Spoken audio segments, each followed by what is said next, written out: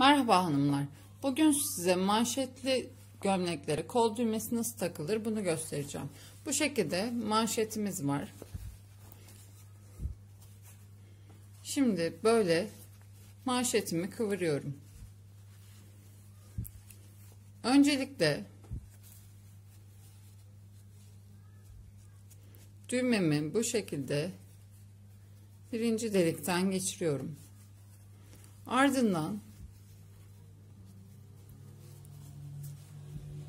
böyle geçirip takıyorum ve altındaki klipsimi kapatıyorum.